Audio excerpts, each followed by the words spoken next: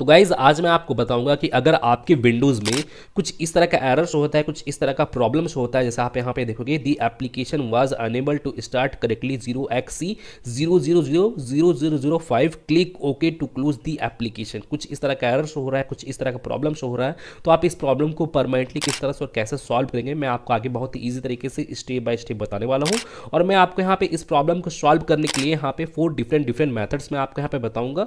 तो गाइज़ आपको इस वीडियो को होल कंप्लीटली वॉच करना है। और गाइज़ अगर आप मेरे चैनल पर भी नए हो तो सबसे पहले तो आप मेरे चैनल को भी सब्सक्राइब कर ले और बेल आइकन पे भी क्लिक कर ले, क्योंकि मैं अपने चैनल पर कुछ इसी तरह के इंपॉर्टेंट इंपॉर्टेंट वीडियोज़ वगैरह डालता रहता हूँ, जो आपको हमेशा काम में ही आएगा।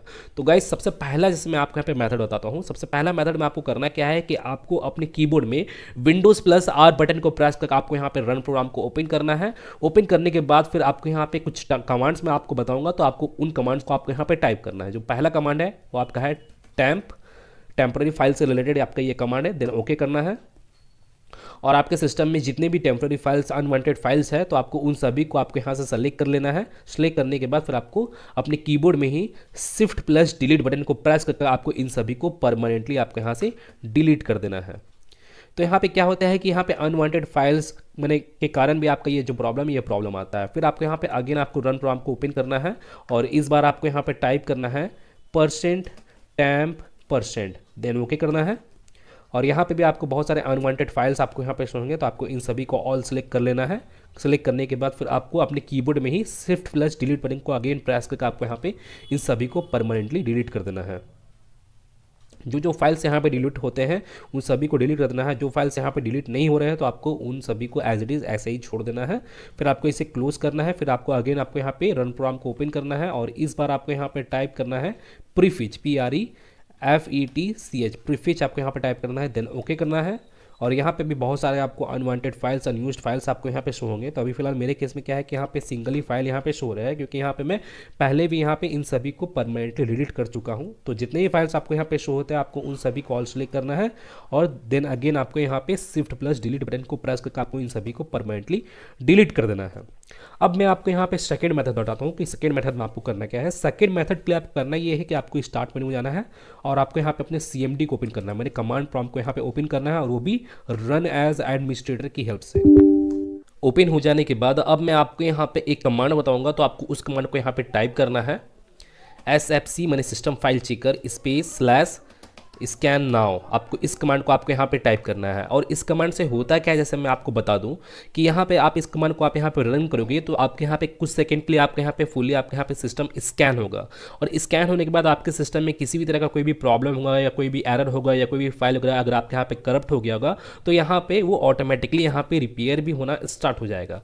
तो जैसे मैं आपको बता दूँ कि इस कमांड को आप जब भी यूज़ कर रहे हैं तो आप यहाँ पे इंटरनेट कनेक्शन आप यहाँ पे चेक कर लीजिएगा कि आपके यहाँ पे इंटरनेट कनेक्शन कनेक्ट है कि नहीं तभी जाकर आप इस कमांड को यूज़ कीजिएगा अब आपको करना क्या है कि अब आपको यहाँ पे इंटर प्रेस करना है अब आप यहाँ पे देखोगे यहाँ पे कुछ सेकंड के लिए यहाँ पे आपका सिस्टम जो है वो यहाँ पे स्कैन होगा और स्कैन होने के बाद फिर आपके यहाँ पे वेरिफिकेशन होना स्टार्ट हो जाएगा और यहाँ पे जो वेरिफिकेशन होना जो स्टार्ट होगा वो आपके यहाँ पे हंड्रेड परसेंट तक वेरिफिकेशन होना स्टार्ट होगा जैसे आप यहाँ पे देखोगे यहाँ पे मेरा वन परसेंट वेरिफिकेशन यहाँ पे कंप्लीट हो गया है तो ये जो वेरिफिकेशन है ये आपका यहाँ पे हंड्रेड परसेंट तक आपके यहाँ पे वेरिफिकेशन होगा और ये वेरिफिकेशन होने के दौरान ही आपके सिस्टम में जो भी प्रॉब्लम होगा या जो भी फ़ाइल वगैरह आपका यहाँ पे करप्ट हो गया होगा तो यहाँ पे वो रिपेयर करना स्टार्ट कर देगा तो यहाँ पे तब तक यहाँ पे जब वेरिफिकेशन हो रहा है तब तक यहाँ पे रिपेयर हो रहा है तब तब आपको करना क्या है कि आपको इसे मिनिमाइज़ कर देना है अब मैं आपको यहाँ पे थर्ड मेथड बताता हूँ कि थर्ड मेथड में आपको करना क्या है थर्ड मेथड में आपको करना ये है कि आपको अपने सर्च बार में जाना है और आपको यहाँ पे टाइप आपको यहाँ पे सर्च करना है वायरस एंड थ्रेड प्रोटेक्शन और आपको इसे यहाँ पे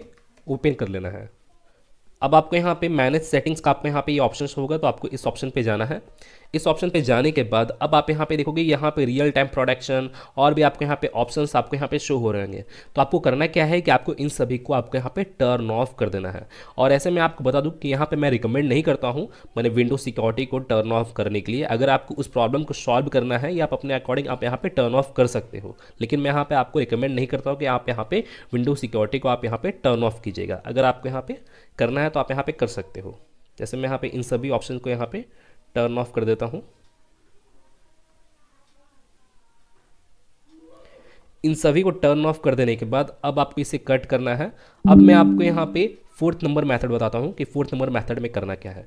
फोर्थ नंबर मेथड के लिए आपको करना ये है कि आपको अपने स्टार्ट मेनू में ही या आप यहाँ पे काम कर सकते हो। आप यहाँ पे अपने कीबोर्ड में विंडोज़ प्लस आर बटन को प्रेस करोगे तो आपका यहाँ पे रन प्रोग्राम ओपन होगा। तो आपको यहाँ पे रन प्रोग्राम में आपको यहाँ पे टाइप करना है।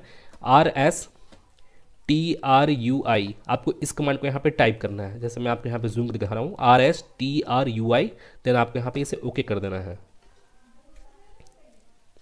और आपके यहाँ पे सिस्टम रिस्टोर रिलेटेड आपके यहाँ पे ऑप्शन ओपन हो जाएगा तो यहाँ पे करना है क्या है जैसे मैं आपको बता दूँ कि यहाँ पे आपको अपने सिस्टम को रीस्टोर करना है और कितने लोग को रीस्टोर करने के बारे में मालूम नहीं होता है तो मैं आपको यहाँ पे क्लियर कर देता हूँ कि रीस्टोर करने से क्या होता है जैसे आप यहाँ पे अपने सिस्टम को रीस्टोर करोगे तो रीस्टोर करने के दौरान आप यहाँ पे जो भी डेट आप यहाँ पे सिलेक्ट करते हो रीस्टोर करने के दौरान तो उस डेट के अकॉर्डिंग जो आपका सिस्टम है वो उतना ही दिन पीछे चला जाएगा मैंने पास्ट में चला जाएगा अगर आप यहाँ पे जैसे मान के चलिए यस्टरडे को या यस्टरडे से पहले का अगर आप यहाँ पे डेट आप यहाँ पे सिलेक्ट कर लेते हो रीस्टोर करने के दौरान तो यहाँ पे आपका जो सिस्टम है, वो उतना ही दिन पीछे जाएगा। उतना ही दिन पीछे जाने का मतलब ये है कि मान के चलिए कि यस्टरडे को या यस्टरडे से पहले अगर आपको वो एरर नहीं आ रहा था तो आपको वो प्रॉब्लम भी आपके यहाँ पर सॉल्व हो जाएगा। मैंने पहले वो प्रॉब्लम नहीं था तो आपका सिस्टम जैसा भी था एज इट इज़ वैसा ही हो जाएगा। तो वो प्रॉब्लम भी आपका सॉल्व हो जाएगा।